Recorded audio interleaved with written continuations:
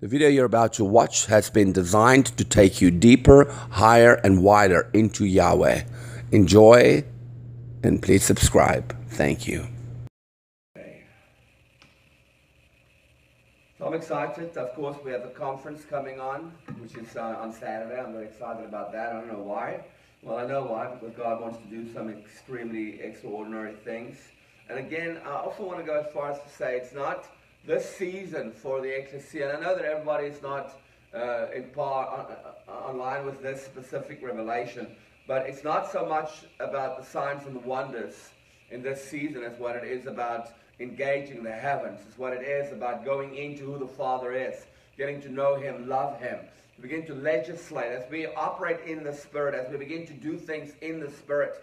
We begin to understand what it means. And when I say Spirit, please remind yourself that I'm talking about the kingdom of heaven. Because there's a spirit realm within the earth that we've engaged for many, many years, and it's affected us. Uh, it's not the spirit realm that the Father's wanted us to engage. It's being in the kingdom. It's understanding Paul saying, I was caught up into the third heaven. Understanding that it is the full supply of heaven that the Father's wanted us to live out of. And that's what we've been doing in Spirit School for the last couple of years. Matter of fact, uh, Spirit School's been going on for about five years. And that's how long I've been in America. That's how long we've been doing Spirit School. We started in New Orleans, and the idea of Spirit School is to get you as a spirit being to be activated and to grow and to be matured. Um, and of course, to understand that we have access into the kingdom of heaven, that we no longer wait for His presence, we no longer wait for Him to come.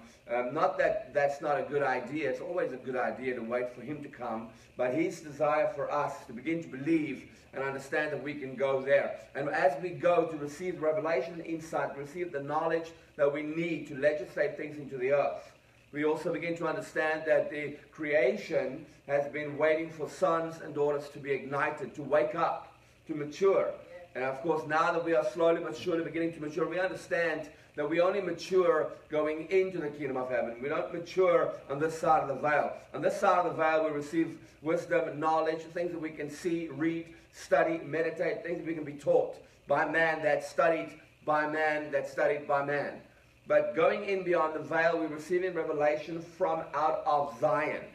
Uh, right straight up from Yahweh, from Him speaking to us as we engage with Him, as we worship and magnify Him face to face. We begin to understand that through the understanding we've had over the years that death is our Savior, meaning we have to die to be holy, we have to die to meet with Him, we have to die to see Him. Over the last couple of years with the Spirit School, we've begun to realize that we have, according to the Word of God, we can go in now. We are seated in heavenly places in Christ today. We don't have to die. Our body can be glorified. Our spirit can be glorified. Our soul can be glorified. We, uh, looking at Yeshua, engaging Yeshua, can become glorified beings. Now, is there many walking the earth glorified? No. But are we about to change? Are we about to ignite in what the Father is releasing? Yes. Why? Because there's a company of people that is engaging. There's a company of people that wants to go higher, deeper, wider into Him. And so the Father is longing for that level of intimacy. You know, we've been the bride for long enough. And I always say that, and I know the church gets angry with me because we still want to believe that we're going to be the bride. But it's just a level. It's a level of growth. And we're beginning to understand that. And as we begin to understand that that level of growth has shifted because I cannot be the bride stepping in beyond the veil. Because when I step beyond the veil, everything changes. Everything becomes a different reality because I look upon Yahweh and I begin to understand that God is not my father per se. I am to be one with him. We are to become one. We are co-ed. We are a family, a unit that operates together. Within him, there's space for me. It has always been created and designed like that when he said, in the beginning, let us create. That was him saying, I am the beginning, and everything that you see came out of me, and I need everything that I created in my image, which is only one being, one species, me and you, to come back into me. So the whole idea behind everything we do is to go back into the fullness and to understand that we live and move and have our being in Him. So things change. I become the body. I no longer operate as the bride. And of course, the ecclesia needs to begin to understand that. We need to begin to walk in that in its full capacity because as the body, I no longer have my own will. I no longer make my own choices. I no longer do my own thing. I am I have him as my head. He is my covering. He is my all in all. I run in through him. He gives me wisdom, revelation, knowledge. I have his mind. I have his heartbeat. I have his blood flow. I operate against and in the light as he is the light because I am the body and he is the head. And so the idea of what we're doing is that we begin to legislate the things that we've walked in and seen and experienced over the last five years. For me, it's been seven, but really, um, uh, and again, I say it's been seven years. It sounds, wow, you've been doing this for a very long time. Because there's no real handbook in this. It isn't something that you can say, well, I've been in it for seven years. I now know what I'm doing. Because there's so much revelation. You know, we're talking about an infinite God that is almighty in power and revelation and knowledge. And, and uh, uh, uh, um, a God that's not created. He has no beginning. He has no end. And in our natural minds, that's not something we can fathom. A God that's so big in, in, in, in in, in, in infinity that we can't even look upon him in our natural capacity. We have to literally legislate uh, from out of the kingdom of heaven the. Um,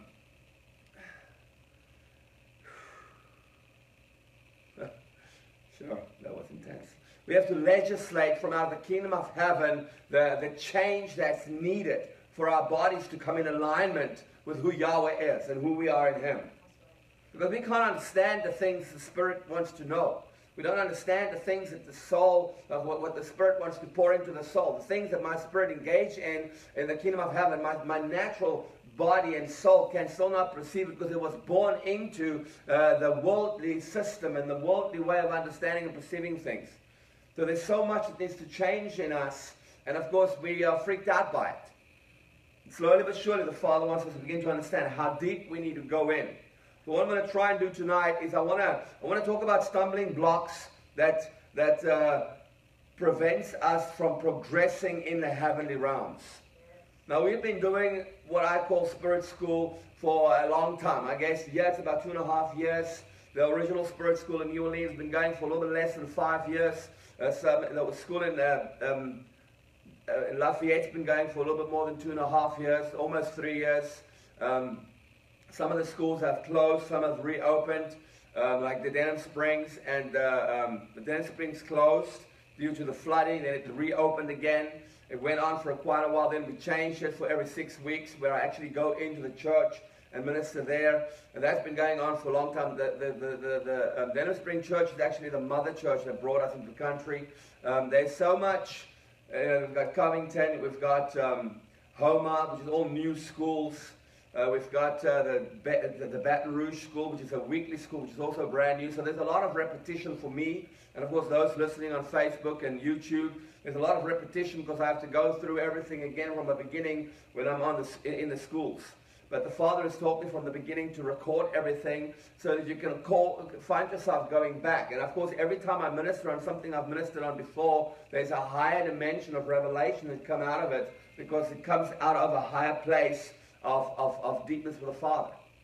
So what I'm going to try and do tonight is I want to try and go through the things that we need to kind of focus on to constantly find ourselves going to a deeper and a higher place. Because it's easy to say, well, this stuff doesn't work for me. I'm not interested anymore. It's just, I'm just going to stick to the old way of doing things. And that's a problem. That's a problem because the Father has given you a doorway to go to a higher place with Him, and He longs for that intimacy now. One of the long, long-standing mandates from the Lord has always been to remove stumbling blocks out of the way of God's people. It's always his desire for us to understand the smooth path that he sees when he looks at us. But because of the things we decide to do, because of Satan wanting to kill, steal, and destroy, and because us going in and out, in and out, in and out, in and out, flesh, spirit, flesh, spirit, flesh, spirit, there's always something blocking our way. So the Father kind of wants to clean that out. We understand that there's some uh, stumbling blocks that uh, we can discern in the heavenly realms that can or are stopping people from entering fully into the Holy of Holies. So what we want to try and do for each individual is to kind of break those things up into smaller portions so we can begin to focus on them. If there's a blockage in your life, now it's, it's not sin. So don't misunderstand what we're doing tonight with with sin or something that's in your life that hinders you from going in. It's just uh, small little things we do in our day to day lives that can prevent us from going in. You can choose, uh, like I said, you can choose two or, or, or, or, maybe more of these things just to engage on a weekly basis to kind of get it smoothed out in your life. And then you can come back to this teaching every now and then to see what else you need to remove.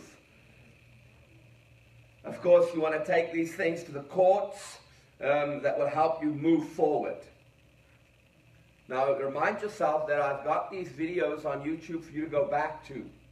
Uh, Apostle um, uh, Ball and his wife, they sell the, the, the DVD, the CDs here. I think it's like $3. And so you can come back there, you can buy them. And I know that they've got them on record, so you can buy them uh, and keep on listening to them as often as you possibly can if you don't already have them.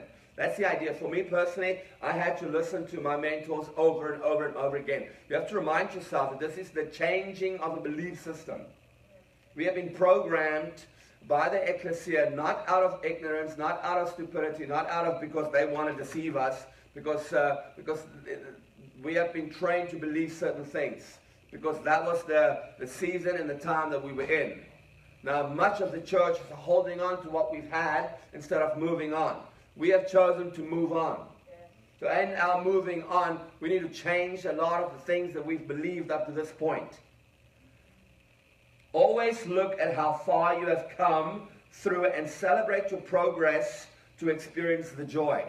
You know, you look at yourself a year ago and you think, nothing is happening, nothing is changing, I'm struggling to go in. But a year before that, you didn't even know you could go in. You know, so there's already so much that's changed and we don't always see that. So what I would suggest you do is always step out of yourself. That's the, the, the, the, the bonus of being a spirit being that can step out of my soul and my body and I can look at my soul and my body. I can look at my life and where I'm at and what I do from a different perspective.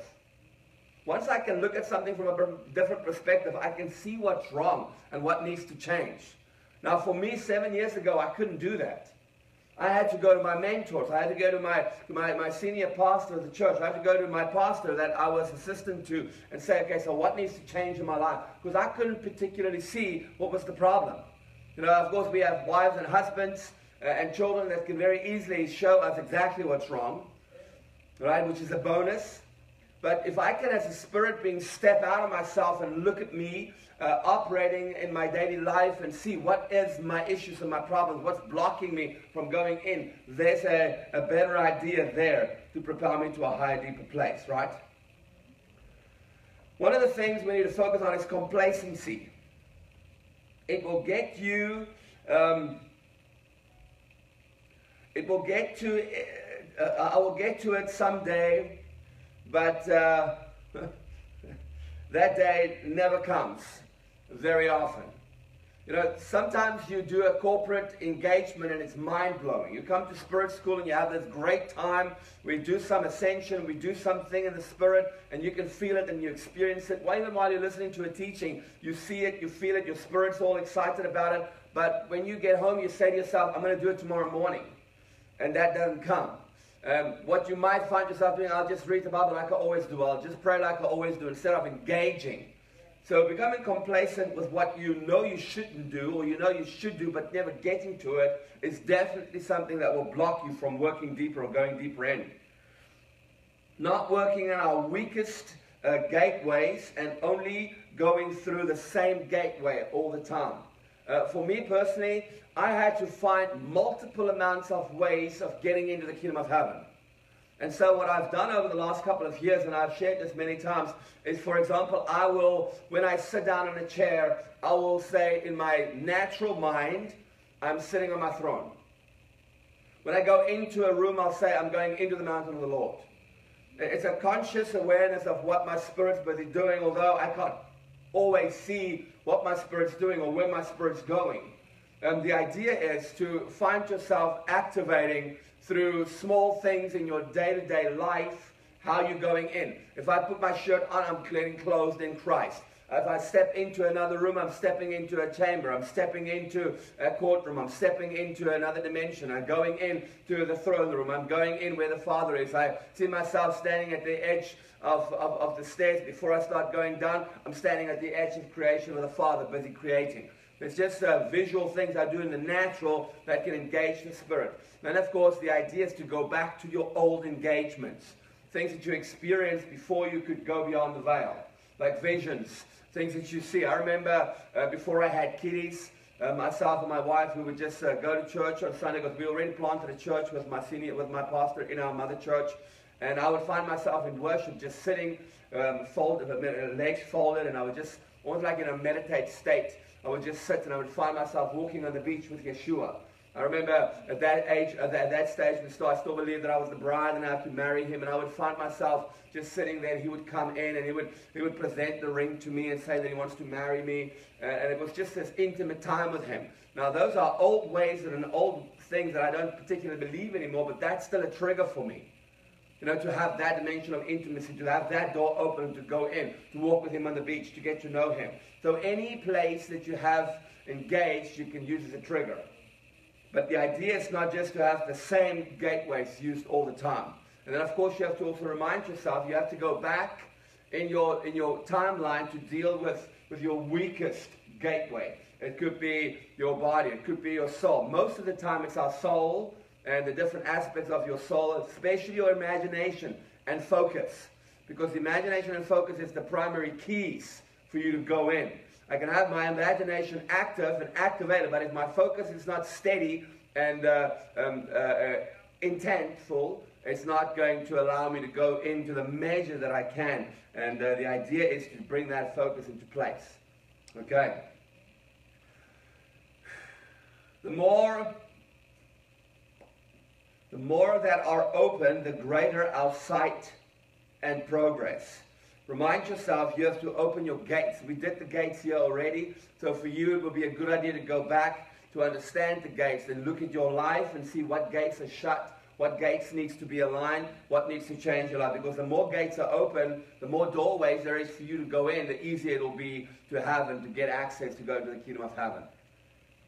Now, the idea is, and this is the, the, the, the uh, this goes as far as to say the perfect state, for me, I've been going in so often over the last seven, seven years that there's many gateways. I can, my favorite gateway is my very first encounter. But I can't use that one all the time because I don't want to start at the same point. So the idea is to then, uh, instead of using the same one because it's my favorite one, to go to some of the other ones. Sometimes I would have driven in the streets on my way to one of the meetings and I would have had an engagement with the angelic. So I would go back into the spirit to that point where I engaged with an angel while I was driving in my car, meaning that my soul and my body is active in the car driving, and my spirit's left my body, gone out and engaged with an angel. I can go back to that encounter where I can stand back and see where the angel came from, the gateway that he used, and I can go in there with and engage at the same level as what he is at or where he came from. So the idea is to just constantly find yourself going back to find the gates that's open for you. Remind yourself that the Father's desire for you as a spirit being is to go into the kingdom of heaven, to spend intimate time with Him. It's all about intimacy. It's all about getting to know Him because in engaging with one of the seven spirits or one of the, whichever angelic being, whichever created being you engage with, whether it's saints of old, whether it's men in white linen, whether it's the 22 letters, whether it's the 24 elders, whether it's the four living creatures, whatever you engage in the heavens, worship unto Him. And His desire for us is just to go in and obviously understand and go from there. we could be overwhelmed because of it being so much new revelation. How many of you felt like that? It's just too much. I don't know where to start. It's like trying to read the Bible. You know, if someone can't direct me, I remember when I just started as a Christian, I would read some yeah, read some there, but really in essence, nothing actually made sense. Until someone told me, actually, I went to Bible school, they said, well, why don't you start with John? Don't, don't start with Matthew because the first chapter is going to drive you nuts. With all the genealogy of, of, of the, you know, you can't even read or pronounce most of those names. So the first chapter is going to go, and you're not going to want to read on. So start with an easy book. Start with a book that you can understand. So it just makes sense. So it's the same with this. Don't let the revelation overshadow you. Um, take a portion and run with that. But I mean, over the last couple of years, yeah, we've had so much teachings coming in. But if you sit back, there's a lot of repetition because it's a belief system that has to change. It's something you have to listen and hear over and over again. So I understand that the revelation is overwhelming, but the Father's desire for you is to sit back, step into Him, and remind yourself it's in Him where there's rest. It's in Him where there's peace. This uh, does pass eventually, and our hunger grows if we keep wanting more. Don't forget that your IQ, which I love, this is my favorite part, your IQ also increases from going into heaven. And this is just logic because you're activating another portion of who you are that's never been activated. Now, we understand that we get born again or we get born from above, and then I have another dimension of my being activated and active in my life. So, where I was soul and body with a spirit that gave life, I now have spirit, soul, and body. But as I take my spirit into the kingdom of heaven, I start engaging with where I come from as an ancient being. There's an activation of a dimension of wisdom, revelation, knowledge, and insight that I did not have previously because it's engaged. It's infused knowledge that's then being transfused into your soul and your body that increases the knowledge you have up to the point that you're at. It changes everything. Not being willing to pay the cost or getting distracted by life. This is a, a, a key to everybody. Uh, we need to understand, and even for myself. Um, in the beginning, I used to wake up uh, at 5 o'clock and I would spend time with Yahweh between, between 5 and 8 almost every morning for years and years and years. Eventually, I felt that I didn't have to do that anymore. And uh, I, because I have had it kind of locked into my system, and I knew that I can even engage during the day. But there's certain, certain things we have to do in the beginning that we might not want to do. It will cost you because this is not a uh, this is not something that's just going to come to you. It's not going to be ta-da.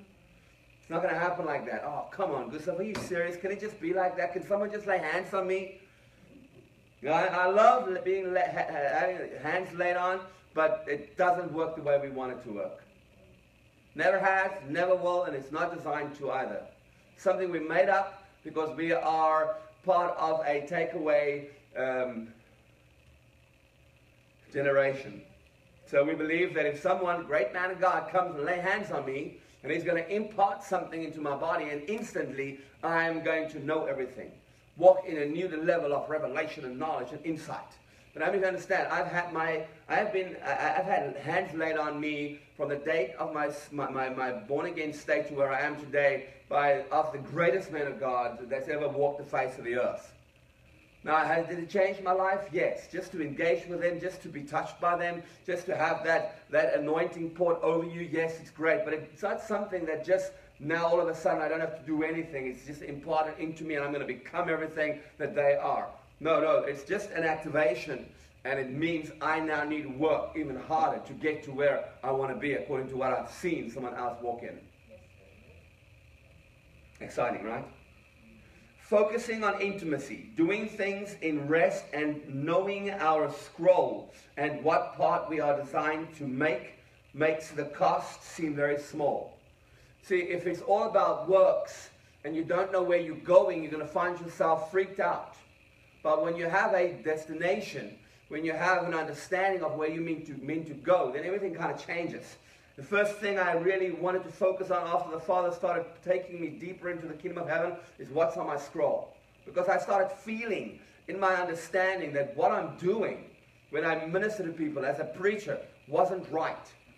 Now I preached uh, biblical principles. It wasn't in the sermons. It was it wasn't in the prophecies because the prophecies always been accurate. I've been always very powerful in my prophecies and what the Father's given me. It wasn't in praying for the sick and, and, and raising the dead, although we've done all of that.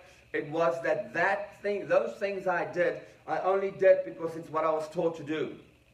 I didn't know that I wasn't meant to, to do it in that manner. When I saw my scroll, the entire ministry changed. Now, do I have a problem with laying on our hands, praying over, over, over people? I, do I have a problem with, with prophesying over the whole congregation? No, I don't. I did that for years. But for me personally, when I saw my scroll, the desire to do that kind of faded. Do I still prophesy over people? Absolutely.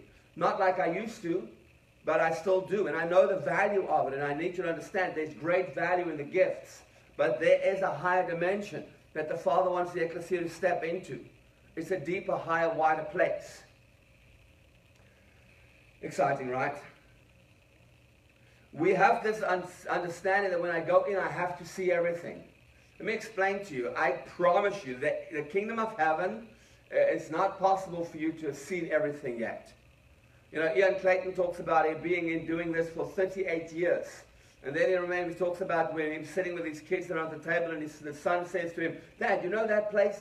I went there today in the spirit. And he's like, no, I've never seen that place. You know, so there's, it's just multitude. It is uh, an infinite place that we can't even express with pain. Now, of course, we begin to understand as we go in, there's cities. Within the cities, there's different realms. Within the realms, there's different, different dimensions. There's just so much that opens up as we go deeper into Him that we can't put it in a box or begin to understand everything because this is an infinite God that has no beginning, that has no end. So we're never going to experience or understand everything at once. But engage the portion that you're busy with so the Father can reveal the mystery to you. Because that's really what it's about. It's Him revealing mysteries and secrets to us as we engage. Remind yourself constantly that this is your Father. It is your daddy. It's your creator. He wants to bless you. He wants to show you everything he created for you and why he created for you and who you are in him and who he is in you. Hearing and discerning in the Spirit is still a valid way to walk with God. Remind yourself that although this is not the way we were taught, when I step into the Spirit, I see Yahweh. I wasn't taught that. When I see him face to face, I see his lips move when he speaks to me. I wasn't taught like that. Know, I have to change the way that I was taught now because I now say I see him, I walk with him, I touch him, he speaks to me audibly, not not yeah, hello Gustav, how you doing, but in the understanding that he's one and I, with me and I'm one with him, knowing that I don't have to speak out loud to myself. Hey, Hank, don't you want to scroll up the iPad? I don't have to do that. My body knows what my mind is wanting it to do without having to say it. And that's the communication that takes place in the kingdom of heaven because I'm the body and he's the head. And we begin to understand that, that hearing and discerning in the spirit is still valid because now it comes out of a high place in Christ, seated in heavenly places.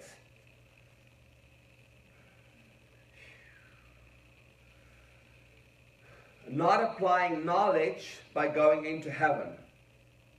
This uh, leads to lack. Uh, uh, um, this leads to a lack of confidence and inhabits seeing, as it becomes head knowledge. This is something you have to understand at a very early progress, because this is not something you engage with what you know. You engage it with your faith. Because there's not a book I can go read before I go in. Well, I don't want to be deceived. I, I don't want to do this because it doesn't sound right to me. Your spirit is meant to lead. That's the way you feel. That's what you want to experience when your soul is still overshadowing your spirit and your body. That's where the dividing soul and spirit has to come in. Because when your spirit is leading, it'll take you in. And your soul will submit to what it experiences and it will begin to receive the download from your spirit man. This is very important. Becoming isolated and only going into heaven on your own. This is a major problem.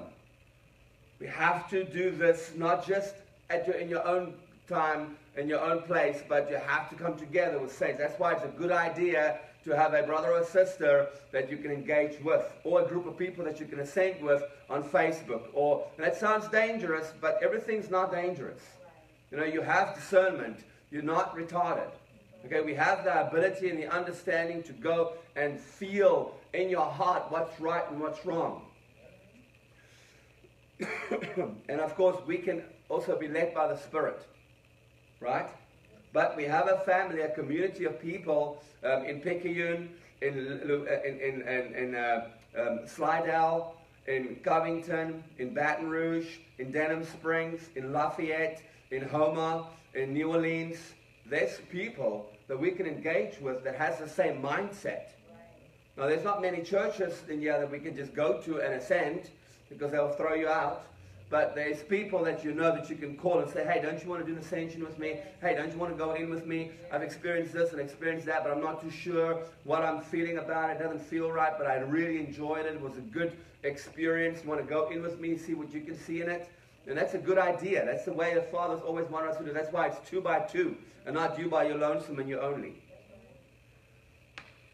Working as a body really helps, and we need to we need agreement with others to form a window to translate this to earth. Makes sense, right? Of course, the fear of man, that's a major problem especially if we are high in a church, uh, leadership in a church, and the leadership does not cohere with what we believe. Then we can't talk to them about it because they will either want to throw you out of the church or they're going to tell you that you are um, in in, you're deceived. But of course, fear of man is fear of uh, um, contributing, uh, which basically means unless you don't want people to mock you or correct you, that doesn't know anything about what you're doing. You know, if I say in a meeting, you know, I, I, I go into the spirit where my soul and my body is still functioning on the earth, what everyone else here says. He's leaving his body um, going into another realm which is demonic which is not of god because that's what the new ages do. You should not leave your spirit. You should not travel in the spirit because that's not what we perceive. And of course that's not quite what we do but that is what we do but not in the mindset of what the church believed. So then I get messages like, you're deceived, don't teach the church that. You need to maybe go sit with God and get yourself right because this doesn't sound like a God teaching. This is man made and it's from New Age perspective. But then I have to make a decision. You know, I know my mentors have taught me. I know what I've experienced. I know what I've seen. I believe and I have confidence in what the Father's revealed to me because the revelation I walk in goes hand in hand with the word that I've studied and meditated on for many, many, many years of my life. It's not just something that I heard and thought, oh, that's a good idea. Let me start talking about it. No, I've heard it, then I studied it and engaged it in the word. Exciting, right? Fear of man will prove to be a snare, right? We are powerful sons who have a right to speak and to learn. We have to be willing to make mistakes. You know, I always say this Alexander Bell uh, did not, at his first try, invent telephone. Don't look at me with that tone. Uh, what's the guy who did the, um, the light bulb? Edison. He makes, he makes a statement where he says he, he made uh, thousands of thousands of mistakes until he got it right. But every mistake took him closer to the truth. And I can guarantee you, if you speak to Alexander Bell, he did the same thing. I mean, you cannot just try something and get it right immediately. There's going to be error in what you do. And of course, the church, for some reason, thinks that if there's error, it has to be satanic and demonic. So we keep it to the basics. Let's preach the gospel of Jesus Christ. You can't go wrong with preaching Jesus Christ. And so we have a half-hearted message given with the right intention, with purity, but without a fear of being in deception. There's a saying, and I want to go almost as far as to say it's Bill Johnson that says it, but I don't want to accuse somebody of anything because I honor him and love him. But he says, everybody has error in their theology.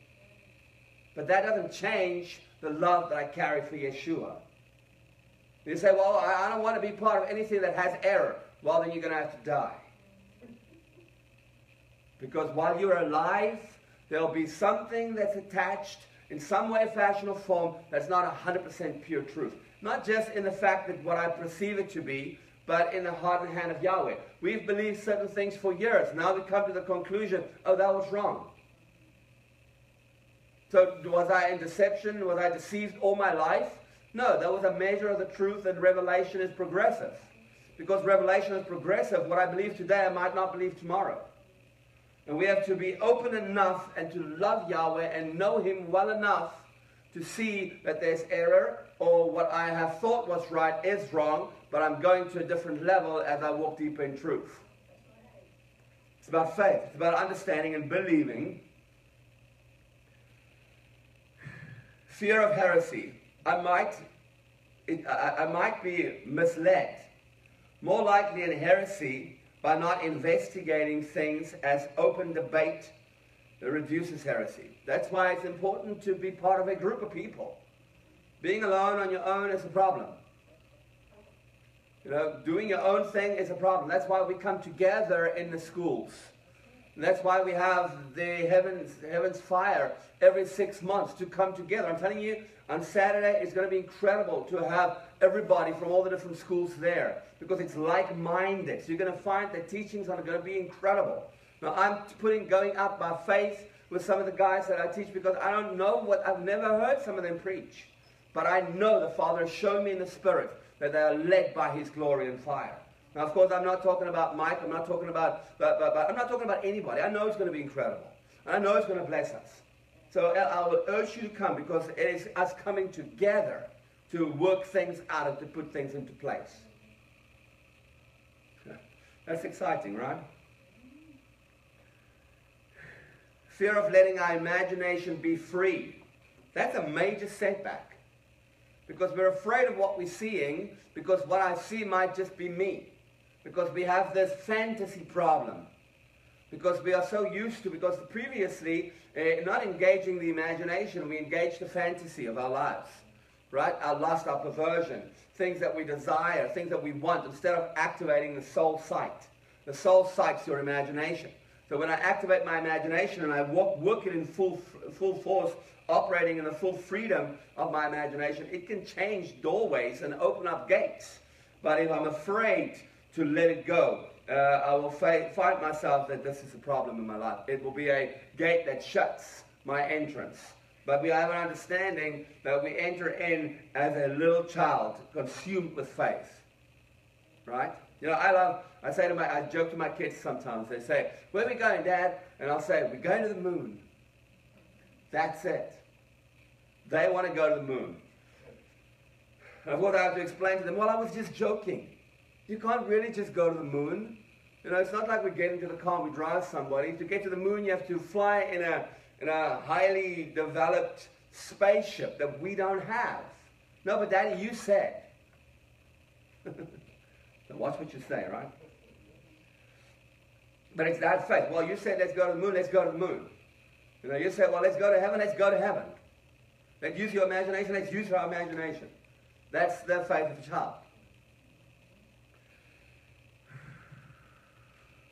Lack of excellence. Saying it's okay to be different. Expressions of church. So miss the biblical heavenly blueprint. See, remind yourself that this is not being different. This is moving on from an old system. Because I, I remember this very funny. I, well, it was funny to me. It was more like, a, can I slap you? But I'm not going to because I'm not like that anymore, but I would like to.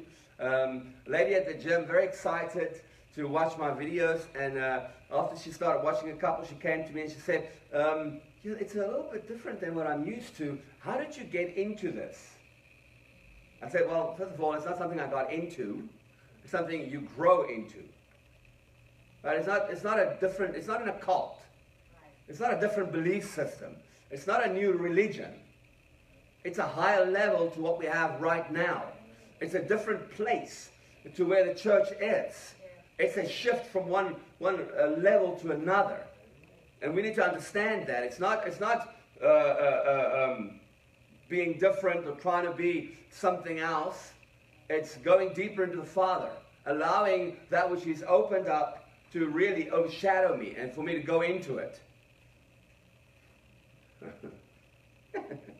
Are funny. We have to let go of the old to form a new community. And that's tough. What I, what I suggest, and this is what I kind of always wanted people to understand, it's okay to be part of more than one community. How many of you understand that? You have a family, which for me personally, I've been in one church since I got born again. Um, well, I got born again and I was taken to uh, Little Falls Christian Church. That's uh, the mother church that everything I've ever done in the faith was birthed out of. Um, So I did their Bible school. They sent me to Cape Town. They um, blessed our coming to America. We're still part of that family. That's my mother church. My pastor, Harold Weitz, is still my pastor. Pastor Stephen Lumbrack. All the other pastors that was there, there's 20 pastors and their wives. They still my pastors. I still love them. I still honor them. They are my community. But I have a different community here in America. I don't have to be associated with them all the time. The community I'm part of now is what I teach. It's my students. It's you guys.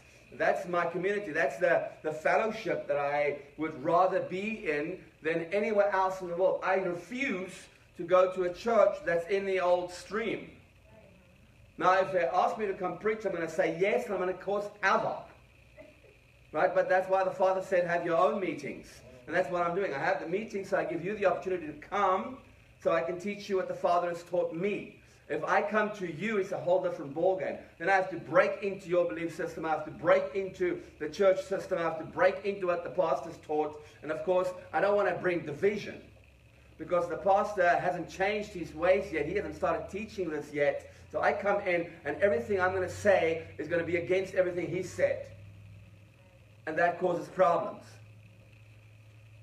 But the Father wants us to understand in your community, in your church, in your mother church, if this is not a revelation, I'm not telling you to move.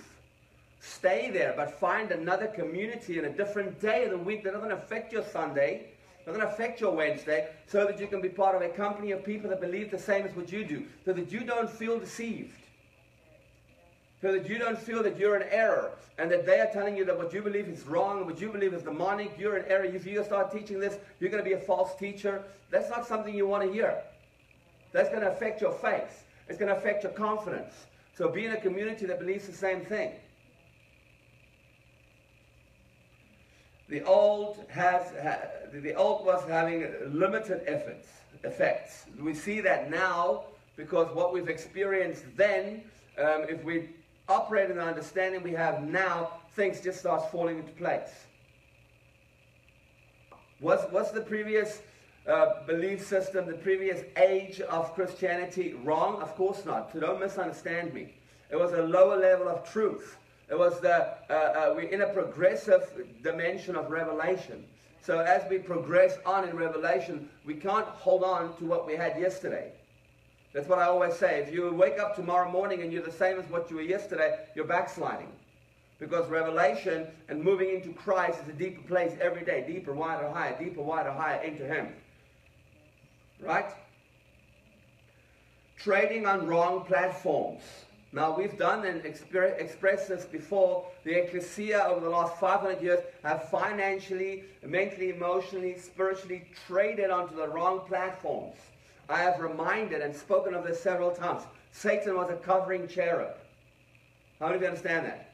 Well, what the covering cherub would do is there's two of them, they touch wings, but they stand over the, the, the Ark of the Covenant. Am I right?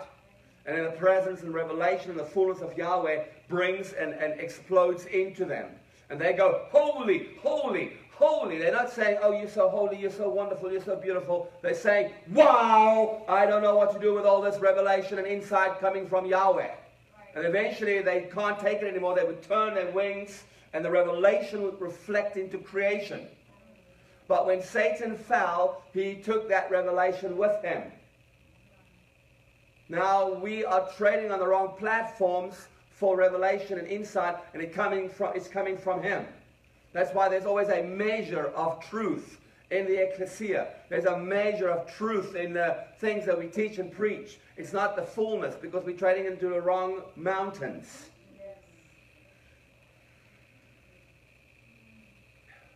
We may even uh, be attending a church not based on good principles.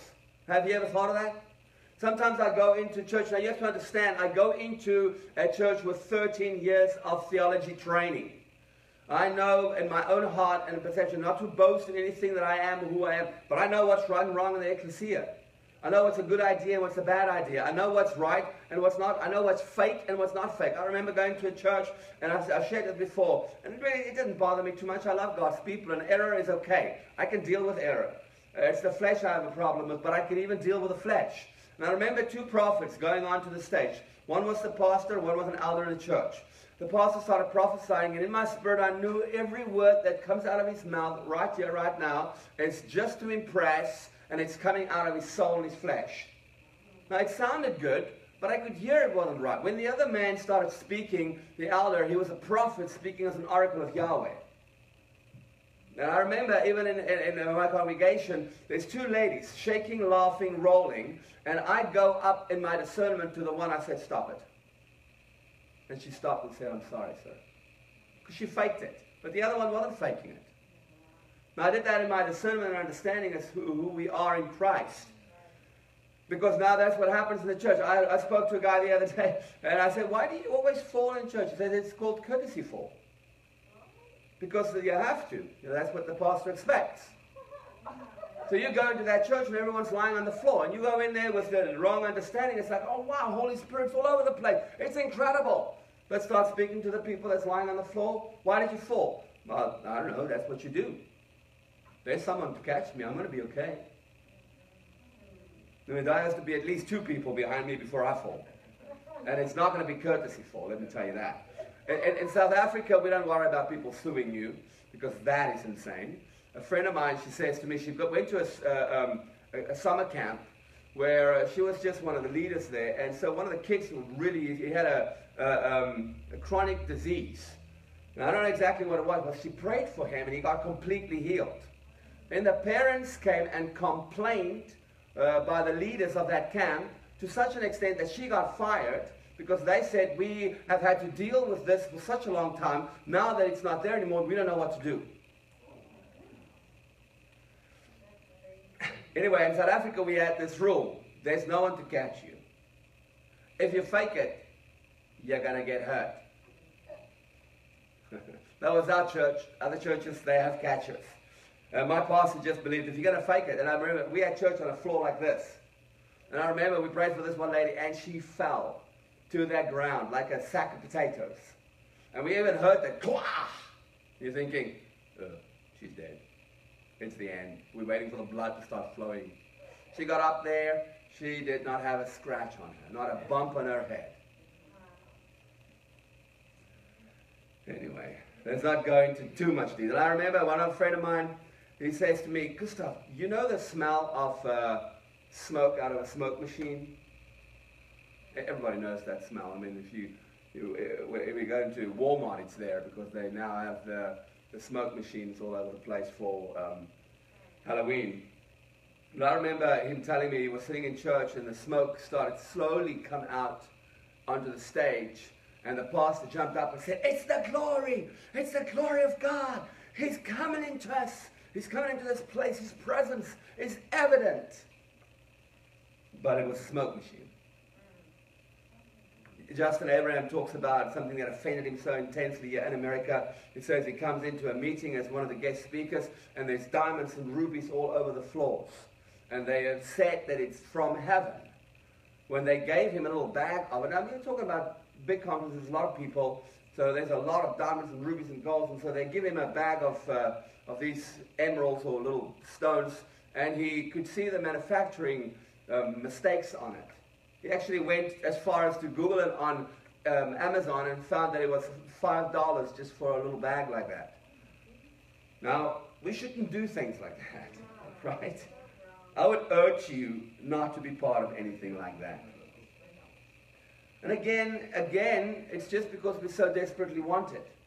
So that's error, but is that, is that really that bad? Yes, I, I guess in a manner, yes it is, but look at the heart. You know, we are so easy to judge to death, but the Father looks at that and he says, that's what's cute, but let's not do that again. He's full of mercy and grace. Stubbornness to change. Always done it this way or that way, but we have to understand if you want change, you have to change. Right? You can't do something the same way and expect different results. That's called ins- insanity. wanting the blessing for our own circumstances, so not helping others, not sharing. I remember when I just started listening to Ian Clayton, It was so incredible. It was so amazing. And I just got it immediately. I could just engage it. And I could find myself going into these different places. And I didn't want to tell anybody. I don't want to tell anybody where I heard it from because I didn't want them to go listen to him and then experience it as well. I felt so spiritual. You know, of course, I was a pastor at this stage, and everyone was so amazed. What happened? Such a change in your way of preaching. Eventually, the father had to correct me and say, What are you doing? What are you doing? it's pride that overtakes us so easily. But when I started sharing everything, I started opening up. Revelation just poured in. When I started taking um, what I knew and what I had, and I started giving it to others, sharing the, the, the, the, the um, links on, on YouTube, uh, sharing his, uh, well, it was mo- mainly on uh, a company of Burning Hearts. Most of Ian's teachings was on there at that stage. Now he's got his own website and some on YouTube. I know he's taken everything off of YouTube and he's created another website where you could go and listen to the messages by obviously sowing or trading into it. But at that stage, there was nothing available really all that much except on the, the, the um, company of Burning Hearts uh, website. And so I eventually started sending my, my, my uh, leaders and the people that I knew was hungry for this to these sites. But before that, I just wanted to keep it for myself. Get away from me. exciting, right? Not taking authority over familiar spirits when it has already been dealt with in the courts. Remind yourself that Satan hates the fact that you're going in. And he'll do everything in his power to prevent you from going back. He will make you feel deceived. He will, he will uh, come in and stop what you were doing. And also remind yourself that if your gates are not cleaned out, he has access to your thought patterns. And that's when you start feeling condemnation. Uh, that's the problem, so we need to go into the courts and deal with this as often and as quick as we possibly can. When we know our mandate, we are safe to take authority. Um, understand, one of, the, one of the problems is that we don't take authority, that we are given and we are holding back for the fear of the enemy. You know, there's no fear. There's no need for you to be afraid of the enemy in any way, fashion, or form. Understand that when you operate in the kingdom of heaven, he can't go there. He does not have access. Right? So when you're in the kingdom of heaven, what you're experiencing is almost 99.999% guaranteed it's from Yahweh. But of course, it's outside of our box of theology of revelation, so that's why it's a good idea to be in the company of others so that you can know that what you're experiencing is from God. Because you're not going to read what you experience a word for word in the Bible. There's going to be traces of it because the Father won't overshadow His word. But He will always overshadow your perception of the word. Because no matter how much you've studied it or meditated on it, there's a, a perception we have, because it comes out of the Greek mindset, that, uh, that does not overshadow the Hebrew perception of what He originally intended for it to be. Because we, we study the word in English, and English is not a living word. It's not a living letter. It's not a living language. For example, what does A mean in the English language? Nothing. Has no meaning. B has no meaning. C has no meaning. You have to put the letters together and spell something that then has a meaning according to what you spelled. But the Hebrew letters are completely different. It's living beings, and each of the letters has a dimension to it that you get to go into and engage. Exciting, right? Not building up your spirit man enough. We've, we've taught on that, building your spirit man engaging in the word, worship, praying in the spirit, um, uh, being in the midst of those like-minded, iron sharpens iron, um, those type of things. Thinking we need to understand the theology and or science first before seeking intimacy. You cannot think that you're going to first understand this before you engage in it. If you have that mentality, I want to guarantee you you're not going in. because this is not a time for us to understand everything before we engage in it. Engage in it, and there will be understanding.